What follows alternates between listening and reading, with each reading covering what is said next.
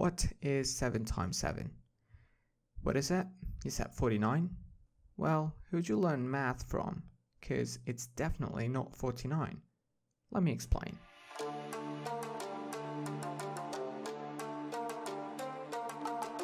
To understand why 7 times 7 is not 49, you need to understand the idea of templates. So what exactly are templates? Templates in simple terms are basically dynamic parts of content. If there's a web page whose content is almost the same, but only certain parts of it change, then there's a good chance that they're using templates. Templates look something like this. They have a static part and a dynamic part. Dynamic ones are inside these squiggly brackets or flower brackets, and that's how compiler knows that that part is dynamic. Also, one other thing to note is that not all templates look exactly like this. This is just an example of a templating engine called Jinja, which is used by popular Python frameworks like Django and Flask. But just so you remember, this syntax might differ with other languages and other frameworks, but the general idea of templates remains same across the board.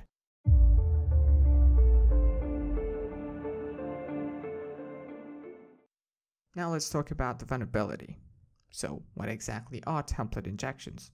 As the name suggests, it's a type of injection vulnerability that exists in web applications where the user's input gets mixed up with the template definition. For example, if user-controlled input such as their bio information, for example, is displayed with this template, then it's totally safe because all we're doing is getting the current user's information from the database and sending it back to the user. But now consider this example. If the user's input becomes a part of the template, then we have a big problem because the templates have the ability to evaluate arbitrary code. So a user might be able to do some complex differential calculus like 7 times 7 or even get a shell on the server. This vulnerability is often termed as server-side template injections, where a attacker can inject malicious template code to own the system. But one thing to note is that it's not just bound to server-side. The vulnerability can exist anywhere as long as templates are available.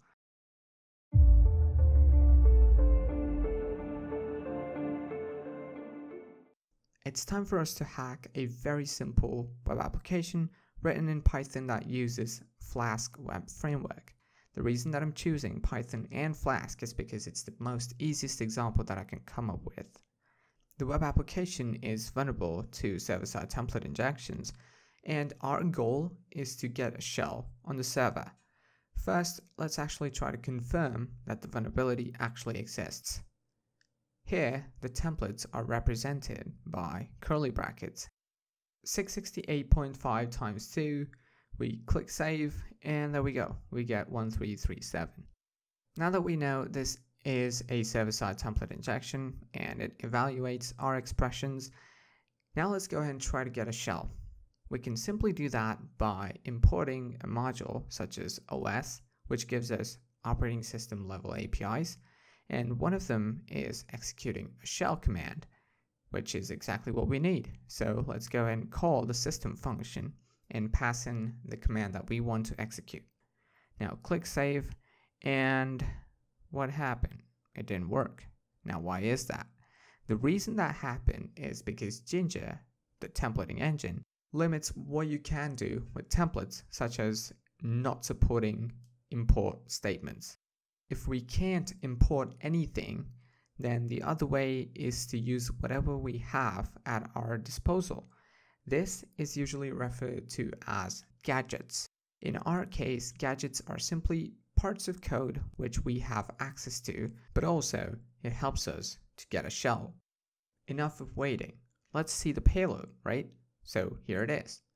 Now I know at first glance it might look scary for some of y'all, but I promise it's gonna look a lot less intimidating in a minute. But remember, even though if you don't get what I'm about to say or explain, it's fine. It's totally fine. I've got an easy solution at the end. Don't worry. What you're seeing here is basically finding a way to the OS module to get a shell. And this is the path that we take to reach the OS module. Simple as that.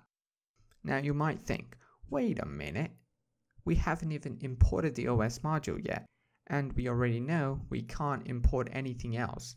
So good luck with getting a shell, I guess? Well, you're right with the first part, which is we can't import anything else within the templates, but Python comes at you like, surprise, motherfucker.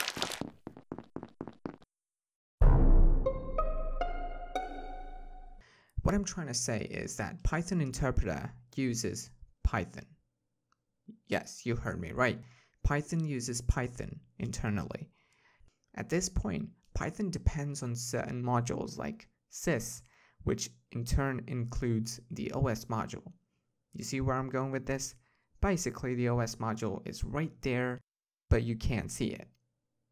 Knowing this, all we have to do is to find a way to access that. And the way that we do that is by using gadgets.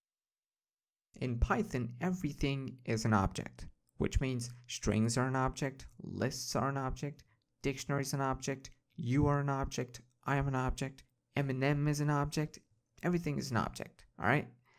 If strings are objects, then it should have a class and we should be able to get that by checking the property dunder class on any string you want.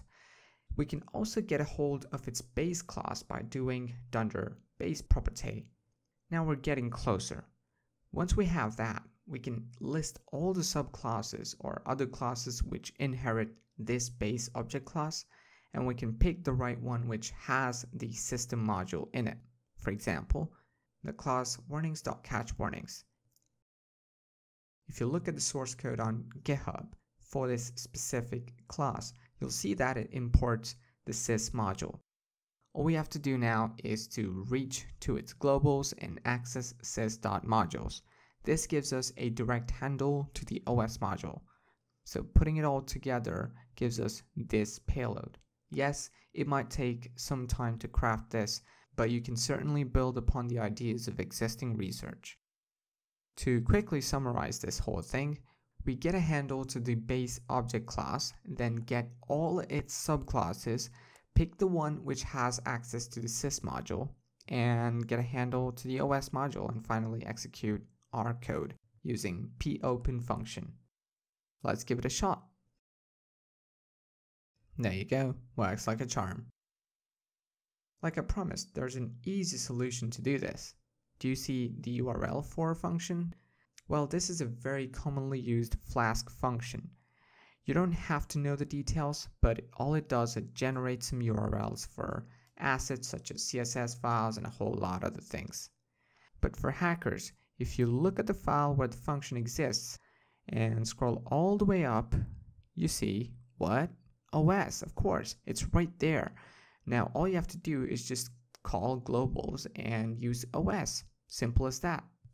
Either way, things work, but what you should take away from this whole thing is to use whatever's at your disposal to your advantage. Essentially, make use of gadgets.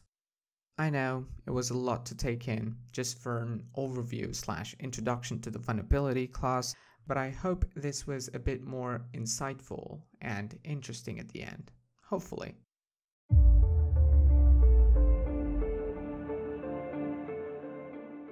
This type of vulnerability isn't just bound to a specific framework like Flask or even a specific language like Python.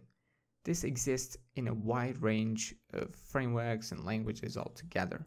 So keep your eyes wide open. Lastly, remember, never mix code and input together. Trust input as unsafe all the time, no matter what. Finally, 7 times 7 is what? That's right, it's server-side template injections. I'll see you in the next one.